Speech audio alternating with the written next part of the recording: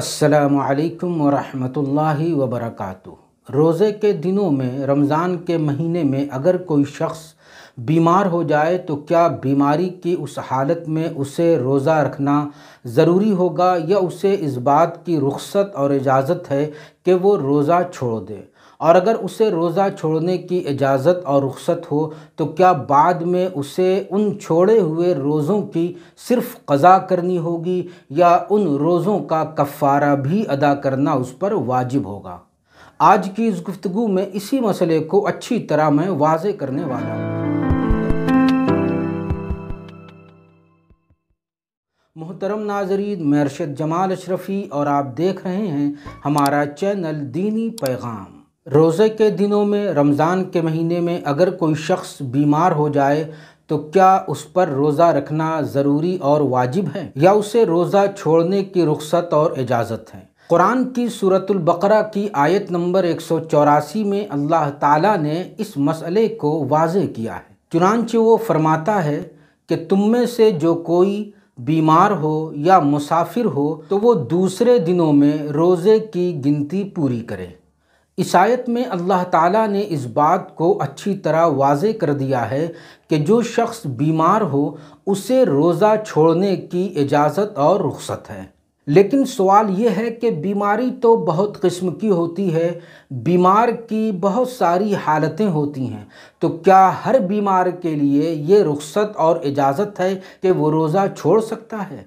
तो इस सिलसिले में मुफसरीन और फ़ुकहा ने जो वजाहत की है, उसका एक ख़ुलासा मैं आपके सामने रखता हूँ। गुफ्तु बहुत अहम है, इसे ध्यान से सुनने की ज़रूरत है। हर किस्म की बीमारी में, हर तरह के बीमार को रोज़ा छोड़ने की रुख्सत और इजाज़त नहीं है, बल्कि उस बीमारी में आदमी रोज़ा छोड़ सकता है कि अगर वो रोज़ा रखता है तो उसकी बीमारी बहुत ज़्यादा बढ़ जाएगी। और उसके जिस्म के लिए, उसके जिस्मानी अज़ा के लिए ख़तरा पैदा हो सकता है। तो ऐसी बीमारी में, ऐसे बीमार के लिए रोज़ा छोड़ने की रुख्सत और इजाज़त है।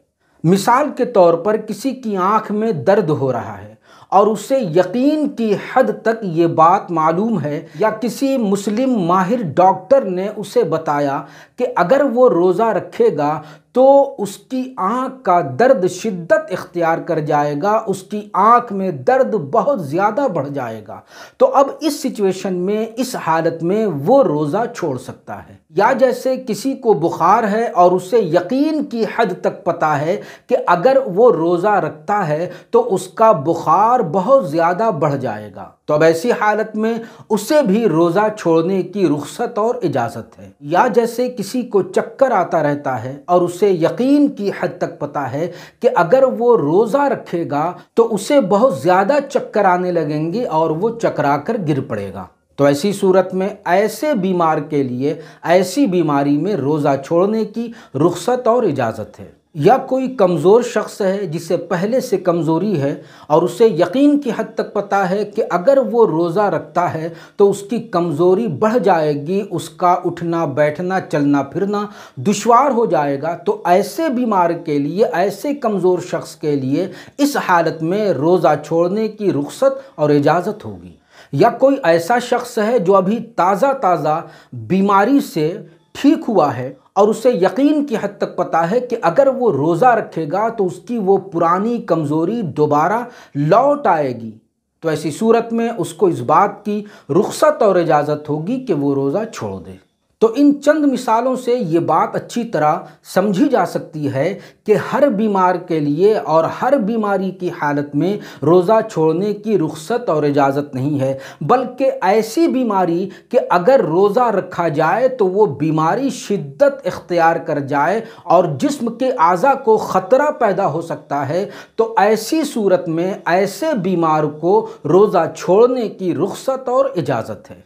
और ये रुख्सत और इजाज़त कुरान ने दी है। जैसा कि सूरतुल बकरा की आयत नंबर एक सौ पचासी में है कि अल्लाह ताला तुम्हारे साथ आसानी का इरादा फरमाता है, न कि तुम्हारे साथ तंगी का इरादा फरमाता है। तो अल्लाह ताला ने एक बीमार को रोज़ा छोड़ने की रुख्सत और इजाज़त देते हुए ये वाज कर दिया कि अल्लाह ताला तुम्हें मुश्किल और मशक्क़त में डालना नहीं चाहता, बल्कि तुम्हारे साथ आसानी चाहता है। इसलिए उसने तुम्हें ऐसी सूरत में, ऐसी बीमारी में रोज़ा छोड़ने की रुख्सत और इजाज़त दे रखी है। अब आखिर में इस बात को भी अच्छी तरह समझ लेना होगा कि अगर बीमारी की हालत में उसके रोज़े छूट गए हैं तो वो क्या करेगा? क्या वो सिर्फ़ उन रोज़ों की कज़ा करेगा या उन रोज़ों का कफ़ारा भी अदा करना उस पर वाजिब होगा? तो कुरान ने जो कुछ बयान किया है, वो ये है कि जिसके रोज़े छूट गए हैं बीमारी की वजह से तो वो उन रोज़ों की सिर्फ़ कज़ा करेगा। दूसरे दिनों में वो उन रोज़ों की सिर्फ़ कज़ा करेगा और उसके लिए उन रोज़ों का कफ़ारा अदा करना लाजिम और वाजिब नहीं है। तो यह है एक बीमार शख्स के लिए रोज़ा रखने और न रखने की पूरी वजाहत। उम्मीद है कि आपने इस मसले को अच्छी तरह समझ लिया होगा। लिहाजा सवाब की नीयत से इस गुफ्तु को शेयर करना न भूलें। वालकम वरहमल